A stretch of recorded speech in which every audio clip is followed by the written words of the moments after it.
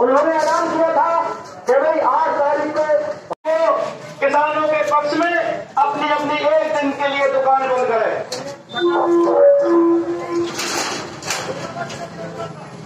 भारत का किसान पिछले एक हफ़्ते से सड़कों पे है और सर्दी, गर्मी, खुले आसमान के नीचे सो रहा है और जो किसान विरोधी तीन बिल केंद्र सरकार लाई थी, उसके विरोध में सारे भारत का किसान पूरी तरह आक्रोशित है।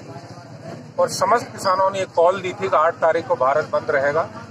उसी सिलसिले में कामा क्षेत्र के किसान भी, सभी समाजों के, उन्होंने भी ये निर्णय किया हम भी शहर में जाके अपने व्यापारी भाइयों से निवेदन करेंगे कि वो इस संकट की घड़ी में हमारा साथ दें। क्योंकि व्यापारी और किसान का बराबर का भाई भाई का नाता है। अगर किसान गरीब है, वो परेशान है तो व्यापारी अपना आप ही परेशान हो जाएगा। इसलिए हम सबसे हाथ जोड़ के निवेदन कर रहे हैं और मुझे बेहद खुशी है कि कामा कस्बे के सभी व्यापारी, सभी वर्ग छोटे बड़ों ने इसमें भरपूर सहयोग दे रहे हैं और अपनी स्वेच्छा से मार्केट को बंद कर रहे हैं। धन्यवाद।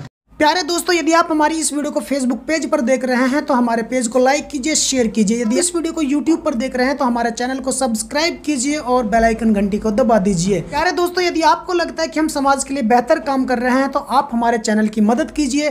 दोस्तों, फ़िलहाल इतना ही। फिर लेकर हाजिर होंगे देश और दुनिया से जुड़ी ताज़ा तरीन खबरें। तब तक आप बने रहिए, सिर्फ़ और सिर्फ़ मेवात आज तक के साथ।